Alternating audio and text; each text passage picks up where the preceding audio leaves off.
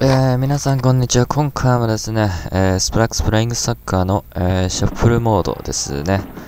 はい。世界中の選手をランダムに選抜して、たった一つだけのチームを作る。どんなチームができるかは完全に運次第と言われるたびに新しいチームができるモードです。はい。ムサがいますね。えー、ナイジェリアの、で、武藤祐樹がいると。武藤は、まあちょっとスピードありますね。まあセンターフォワード。で、あ、はい。ハメス・ロドリゲスですね。はい。トップ下タイプの選手です。どうしようかな。で、ロシアの、えー、ウィンガーと、はい。うん。で、イングランド、アルジェリアに、ウルグアイの、あ、強いですね。うん。で、えー、コスタリカ。うーん、ちょっとプレスが持ち味ですけど。で、えー、アメリカ、エネルでしたっけ？はい。で、イヌがいますね。はい。キーパーはウルグアイのキーパーが入ってます。イは使いますか？まずね。イ入れて、うん、どうしようかな。あ、この人も使えるな。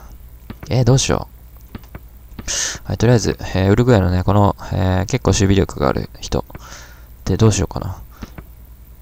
いや、本当にどうしよう。あ、ここ変えればいいのか。はい、そうですね。えー、っと、あれ？あ、センターフォワードなんだ。え？はい、この人ウィングですね、じゃあ。で、あ、そうか。なるほどね。はい、こういうことですね。これやってみるか。あるいは、もっとちょっと、一回ウィング外してみますか。ここに入れてどうなるか見たいですね。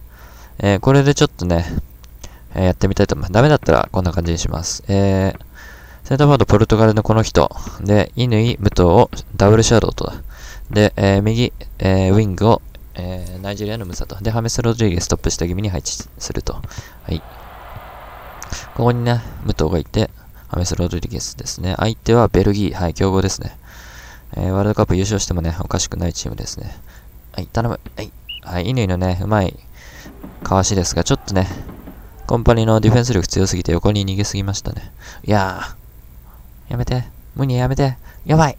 い、言ってんだこれ。あ、言ってんですね。いやー、ちょっと待って。今ね、完全にやられてますね。えー、ベルギーね、左さ、左が強いんですよ。アザールと、あれ、カラスコがいて。まあ、右はちょっと緩めに守って、じゃあ、大丈夫かな。はい。ハメスから、ムサですね。よし、頼む。はい、これ1点ですね。取ったでしょ。頼む。はい、ありがとうございます。えー、カウンターで1点ですね。コーナーキックのカウンター、えー、要注意のところですが、えー、今回ね、うまかったですね。あと、ナイジェリアのムサも非常にスピードがあって、はい、1人いればいいかもしれない。ここが空いてて、武藤から、ああ。ベルギーね、そこまでディフェンス力はないはずですね。ただ、コンパニが非常に、やばい。これ1点じゃないな。1点っぽいな。あ、ありがとう。はい。アザールのナイスディフェンスと。はい。ハメス・ロドリゲス。ここ、ショートカウンターですね。はい。えー、3対2です。数的優位ですね。やばい。あ、コンパニー。危ない。宮抜き。あ。そうか、キーパークルトワだから、えー、簡単にはね、決めさせてくれないですね。はい。ハメス・ロドリゲスから落として、落として、シュートと。真正面。うんちょっとやっぱりね、ベルギー構成に移った時こっち止められないですね、これじゃあ。もうちょっとディフェンシブに行った方がいいのか。っていうことでしょうね。まあ、しょうがないか。メンバーいないですからね。いや。はい、シャッフルはね、えー、やりたいフォーメーションでも揃わないことがあるんで、えー、そこね、相手とバランスが崩れ、相手の陣形とバランスが崩れた時に、どうするかっていうね。はい、クルトワがちょっとすごい飛び出しだな、今の。いや、言ってんでしょ。ああ、惜しい。はい、1-0です。内容的に拮抗してますね。ベルギーの攻撃が結構、今にも点が入りますね、これは。はい。ただカウンターがね、決まってるんで、いや。うん、メルテンス。さあ、これは大丈夫ですね。はい。ルカクね、スピードタイプじゃないんで、えー、アザールが持った時の方が怖いですね。はい、これ怖いですね。はい、ありがとう。えー、ここに中央に密集してます。こっちもね、かなり攻撃的に組んでるんで。いやー、今シュートだったな ひどい。折り返し失敗。いや、ちょっと待って。はい、真ん中空いてるね。はい、シュート。あ、惜しい。はい、ここにスペース、はい、ありましたね、今。やばい。あ、これやばい。頼む。よし。はい。えー、これね、大丈夫ですね。ルカクにどの段階でボールが、いやー、渡るかっていうの感じなんですけど、頼む。はい、追い込んで。はい。えー、なんとかね、防ぎました。うん。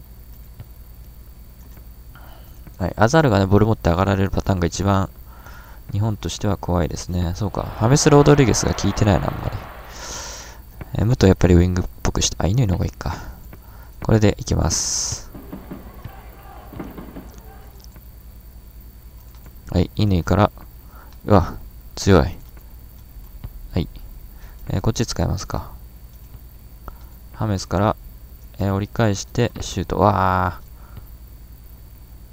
ー。どうしようかな、これ。えい。あー、ちょっと待って、危ないね。今の取られ方、ダメですね。一回落とします。わ